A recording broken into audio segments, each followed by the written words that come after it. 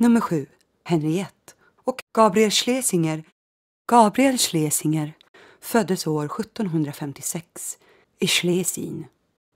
Sannolikt arbetade Gabriel som lärare hos familjen Salomon och gifte sig senare med dottern i familjen, Henriette. Paret fick flera barn som föddes på Marstrand.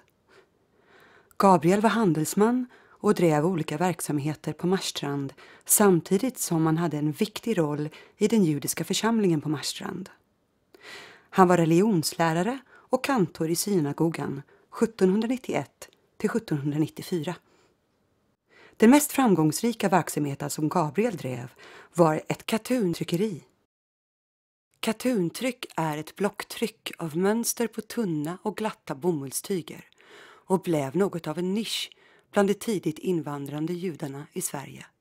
De judiska katuntryckarna införde nya och moderna mönster, metoder och tekniker som gjorde att dessa tyger blev på högsta tänkbara mode.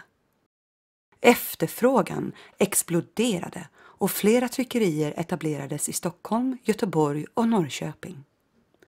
Gabriels var en av de tidigaste svensk-judiska katuntryckarna och förutom tryckeriet på Marstrand fick han 1796 tillstånd att driva ett katuntryckeri i Göteborg.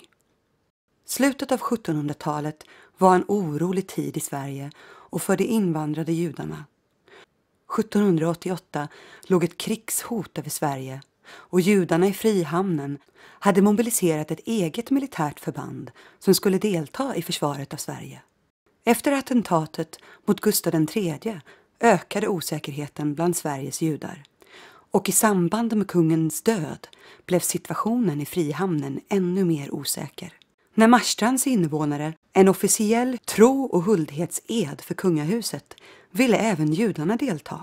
Detta avvisades eftersom judisk edgång inte ansågs jämlikt med de kristna undersåtarnas. Till slut fick judarna dock tillåtelse att avlägga skriftlig ed eftersom deras uppsåt vore lovlig och god. När Frihamnen upphävdes på Marstrand 1794 ansökte Gabriel Schlesinger om dispens för att få stanna kvar i Marstrand och fortsätta att driva det katuntryckeri han redan hade etablerat på ön.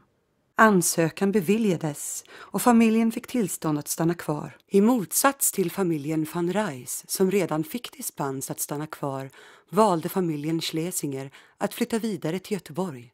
I Göteborg var han sedan skriven som katuntryckare men drabbades svårt under den stora vågen av konkurser 1815. Då tvingades han att lämna över sin egendom till borgenärer. Han kom dock på fötter igen och etablerade 1818 en textilfabrik. Den 25 november 1806 utfärdade Gustav IV Adolf en kungörelse som förbjöd judisk invandring till Sverige. Samma år blev judarna i Göteborg tvungna att avge en officiell lojalitetsförklaring till fosterlandet. Gabriel Schlesinger dog i Göteborg den 29 juli 1822. På hans gravsten på Göteborgs judiska begravningsplats kan man läsa Här vilar han som utövade kärleksverk med råd och handling, var verksam dag och natt mannen som var lycklig i utövandet av heliga verk, den lärde herr Gabriel, son till Mordokaj Meins.